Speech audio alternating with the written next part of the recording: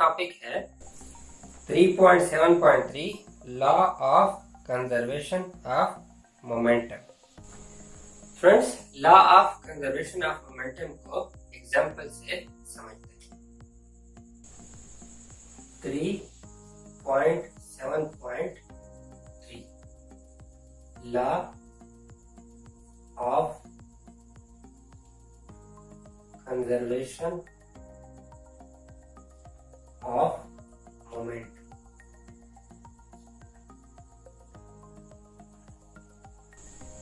Friends law of conservation of momentum को समझने के लिए कंसीडर करते हैं कि एक ब्लॉक है, इसका मास m है और इसकी वेलोसिटी v है। यानी कि इस ब्लॉक का कुछ मोमेंटम है p p is equal to m और ये ब्लॉक फ्रिक्शनलेस सरफेस पर मूव कर रहा है इसके अलावा फ्रेंड्स इसी सरफेस पर इसी फ्रिक्शनलेस सरफेस पर एक दूसरा ब्लॉक भी मौजूद है जिसका मास एम है। अब फ्रेंड्स फ़र्ज़ करें कि इस ब्लॉक का momentum P one is equal to five newton second और इस दूसरे ब्लॉक का मोमेंटम P2 वो है ज़ीरो न्यूटन सेकेंड। यानी कि ये दूसरा ब्लॉक रेस्ट की हालत में इस फ्रिक्शन सरफेस पर सो स्टूडेंट्स ये ब्लॉक मूव करता है और दूसरे ब्लॉक के साथ कोलाइड करता है। और आफ्टर कोलिजन ये ब्लॉक, इस दूसरे ब्लॉक को कुछ मोमेंटम ट्रांसफ़र कर देता है। ज़ाहिर है कि कोलिजन के बाद ये ब्लॉक भी मूव करना शुरू कर देगा। और इस ब्लॉक की मोशन कम हो जाएगी पहले की so students after collision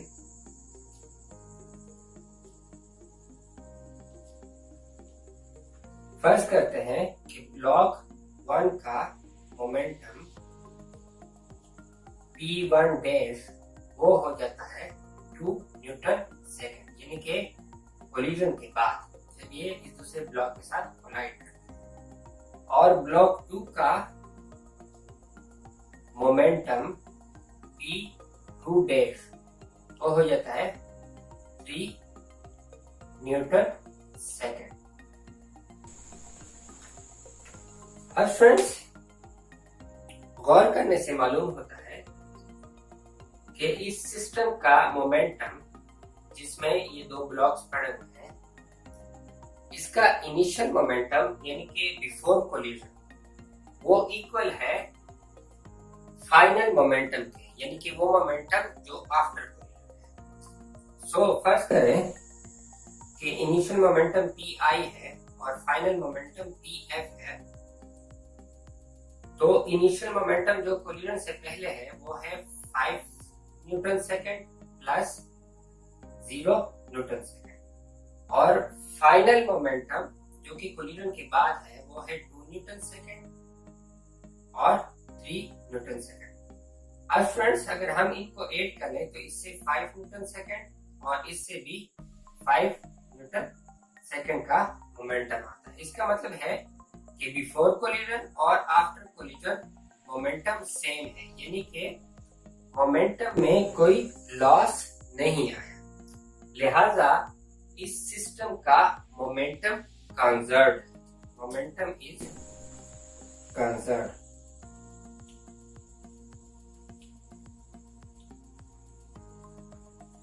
यानी के no loss in momentum no loss in momentum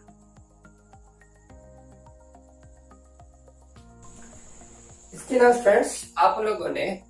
गौर किया होगा कि ये सरफेस जिस पर ये दो ब्लॉक्स पड़े हुए हैं, ये फ्रिक्शनलेस सरफेस है। यानी कि कोई एक्सटर्नल फोर्स इन ब्लॉक्स पर अमल नहीं कर रही, जिसकी वजह से इन ब्लॉक्स का मोमेंटम लॉस हो जाए इनका ब्लॉक्स का momentum come so friction surface is also frictionless surface is frictionless यानी के नो एक्सटर्नल फोर्स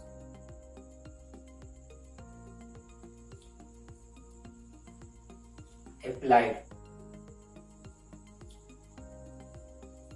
या system is isolated isolated system यानी के जिस सिस्टम पर बाहर से कोई एक्सटर्नल फोर्सेस अप्लाइड ना हो, कोई बैरूनी इंटरेक्शन ना हो सिस्टम पर, और उसके कंस्टिट्यूएंट्स अंदरूनी तौर पर इंटरनली इंटरेक्ट करते हो तो इसका मतलब है कि वो सिस्टम आइसोलेटेड सिस्टम है या उस सिस्टम को आइसोलेटेड सिस्टम कहेंगे। इसके अलावा फ्रेंड्स कंसीडर करते हैं कि ये ब्लॉक्स सरफेस पर फ्रिक्शन सरफेस पर तो पड़े हैं लेकिन इसके अलावा इन ब्लॉक्स पर कोई ग्रेविटेशनल फोर्स भी अमल नहीं कर रही। सो so, ये सिस्टम आइसोलेटेड है और किसी किस्म का एक्सटर्नल इंटरेक्शन इस सिस्टम पर नहीं है। सो so, इसलिए जब ये कॉन्स्टिट्यूएंट्स आपस में इंटरेक्ट करते हैं ये ब्लॉक्स इंटरेक्ट करते हैं तो इनका मोमेंटम कंजर्व रहता है। लिहाजा स्टूडेंट्स इसका मतलब है कि इनिशियल मोमेंटम पी आई वो इक्वल है फाइनल मोमेंटम यानी कि P I minus P F अगर फाइनल मोमेंटम को इनिशियल मोमेंटम से सब्ट्रैक्ट कर लिया जाए तो हमारे पास लॉस इन मोमेंटम ज़ीरो आएगा, यानी कि no change in momentum momentum में कोई चेंज नहीं है ज़ीरो चेंज है मोमेंटम में। यानी कि मोमेंटम इज़ कंजर्व या इसको इस तरह समझा जा सकता है कि इनिशियल मोमेंटम पी आई वो है फाइव प्लस ज़ीरो और फाइनल मोमेंटम है टू प्लस थ्री यानी कि five is equal to five या five minus five is equal to zero so change in momentum is zero अब फ्रेंड्स यहाँ पर तो हमने सिंपली दो ब्लॉक्स को कंसीडर किया ये दो ब्लॉक्स के बजाय तीन ब्लॉक भी हो सकते हैं, चार भी हो सकते हैं, उससे ज़्यादा भी हो सकते हैं। फ़र्स्ट करें, अगर दो ब्लॉक्स की जगह ये तीन ब्लॉक्स हो तो एक ब्लॉक कुछ हिस्सा, कुछ मोमेंटम दूसरे ब्लॉक में ट्रांसफ़र कर ले, दूसरा ब्लॉक तीसरे ब्लॉक में मोमेंटम ट्रांसफ़र कर ले। सो आफ्टर कोलिजन मोमेंटम को अगर ऐड किया जाए और बिफोर कोलिजन मोमेंटम को ऐड किया जाए तो वो दोनों एक जैसे होंगे, यानी कि इनिशियल मोमेंटम बिफोर कोलिजन और after momentum after final momentum after collision ये दोनों सेम रहेंगे अगर system isolated so friends isolated system की कुछ और मिसालें इस तरह दी जा सकती है कि फ़र्स्ट करें कि कोई कंटेनर है और उसमें गैस के पार्टिकल्स हैं या एयर के पार्टिकल्स और वो कंटेनर आइसोलेटेड है तो उसके अंदर जो एयर के पार्टिकल होंगे वो एक दूसरे के साथ इंटरेक्ट करेंगे कोलाइड करेंगे। इसके अलावा कंटेनर के वाल के साथ भी कोलाइड करेंगे। और टाइम चाहे एक घंटा गुजर जाए चाहे चौबीस घंटे गुजर जाए या चाहे एक हफ़्ते का टाइम गुजर जाए तो उनका मोमेंटम लॉस नहीं होगा। वो इसी तरह गैस के पार्टिकल्स एक, एक दूसरे के साथ कोलाइड करते रहेंगे। विद सेम मोमेंटम, जो कि कोलिजन से पहले है और जो कोलिजन के बाद भी वही मोमेंटम होगा। क्योंकि स्टूडेंट्स गैस के पार्टिकल्स का मास या वेट इतना कम होता है कि उस पर ग्रेविटेशन फोर्स भी एक्सटर्नल ग्रेविटेशन फोर्स भी असरअंदाज नहीं होती कि उन पार्टिकल्स को नीचे कंटेनर में मिटा दे, यानी कि उनका मोमेंटम कम कर दे, उनका मोमेंटम लॉस कर दे। हाँ स्टूडेंट्स अलबत्ता ये मुमकिन है कि कंटेनर के वॉल्स को या बाहर से कंटेनर का टेम्परेचर इतना कम कर दिया जाए कि जिसकी वजह से अंदर कंटेनर में मौजूद एयर पार्टिकल्स की काइनेटिक एनर्जी कम हो जाए और उसकी वजह से मोमेंटम भी कम हो जाए और उनके कोलिजन का रेट कम हो जाएगा यानी कि मोमेंटम में लॉस आ जाएगा। सो so, इस सिचुएशन में हम कहेंगे कि कंटेनर में मौजूद एयर पार्टिकल्स वो किसी आइसोलेटेड सिस्टम में मौजूद नहीं है। यानी कि कंटेनर आइसोलेटेड सिस्टम नहीं है, क्योंकि उसका टेम्परेचर बाहर से कम किया जा रहा है। और यही वजह होगी कि जब मोमेंटम लॉस हो जाएगा तो एयर पार्टिकल या गैस के पार्टिकल उनका स्टेट भी चेंज हो जाएगा, अगर टेम्परेचर उनका कम कर दिया जाए, और वो लिक्विड स्टेट में ट्रांसफ़र हो जाएँगे, वो गैस के पार्टिकल और चूँकि लिक्विड स्टेट में ट्रांसफ़र होने के बाद उनका मोमेंटम बहुत कम हो जाएगा और उनके इंटरेक्शन रेट या उनका कोलिजन रेट वो भी कम पड़ जाएगा। इस तरह अगर मोमेंट टेम्परेचर को मजीद कम कर दिया जाए तो मोमेंटम मजीद कम हो जाएगा और इसके अलावा वो गैस जो लिक्विड स्टेट में थी वो सॉलिड स्टेट में ट्रांसफ़र हो जाएगी। सो so, अगर आइसोलेटेड सिस्टम ना हो कंजर्व नहीं रहता किसी भी सिस्टम का अनआइसोलेटेड सिस्टम का। इसके अलावा स्टूडेंट्स इसकी मिसाल इस तरह भी दी जा सकती है कि आप लोगों ने कैरम बोर्ड का गेम खेला होगा। उस पे स्टिकर जब एक दूसरे के साथ स्ट्राइक करते हैं तो अगर कैरम बोर्ड के सरफेस को पाउडर से या ग्रीस की मदद से बहुत ज़्यादा स्मूथ कर लिया जाए फ्रिक्शनलेस कर दिया जाए तो स्टिकर को अगर कोलाइड किया जाए तो वो इस तरह कोलाइड करते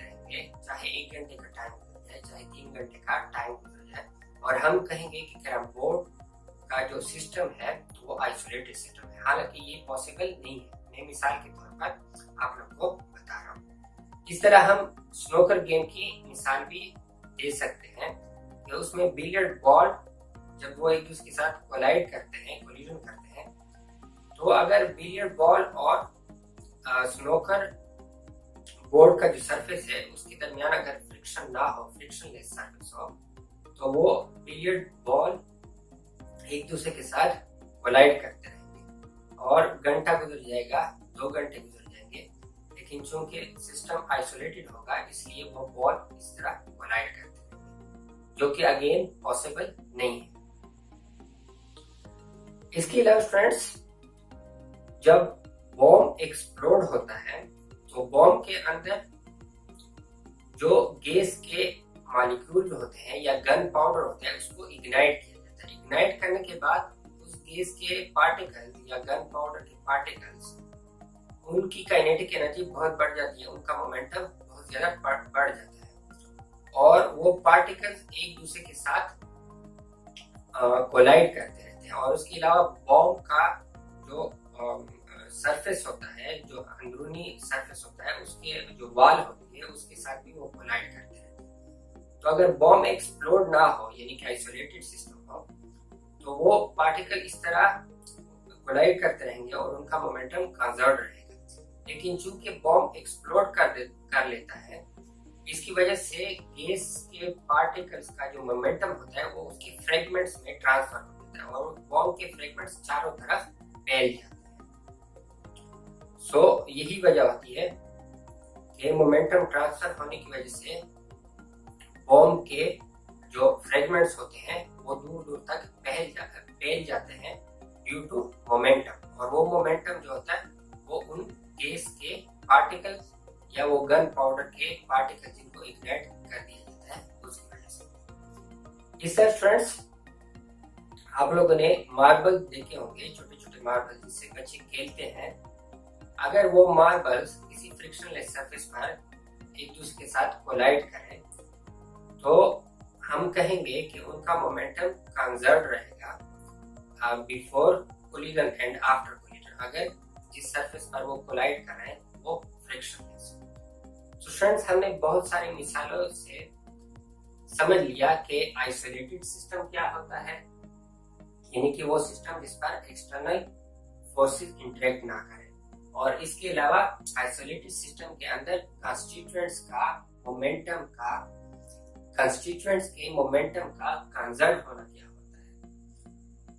यानी कि जब मोमेंटम में कोई लॉस ना आ रहा हो मोमेंटम कम ना हो रहा हो या ज़्यादा भी ना हो रहा हो तो इसका मतलब है कि उस आइसोलेटेड सिस्टम के कंस्टिट्यूएंट्स का मोमेंटम कंजर्व है। इस तरह students law of conservation of momentum के टॉपिक का, के टॉपिक में आखिर में डेफिनेशन लिखी हुई है। Law of conservation of momentum की। It states that if there is no external force applied system the linear momentum of that system उम्मीद है कि अभी आप लोग law of conservation of momentum के डेफिनेशन को समझ सकते हैं। स्टूडेंट्स नेक्स्ट लेक्चर में हम इलास्टिक एंड इन इलास्टिक के बारे में बात करेंगे। तब तक स्टूडेंट्स आप लोग law of conservation of momentum के आर्टिकल को स्टडी करेंगे स्टूडेंट्स अभी तक के लिए इतना ही।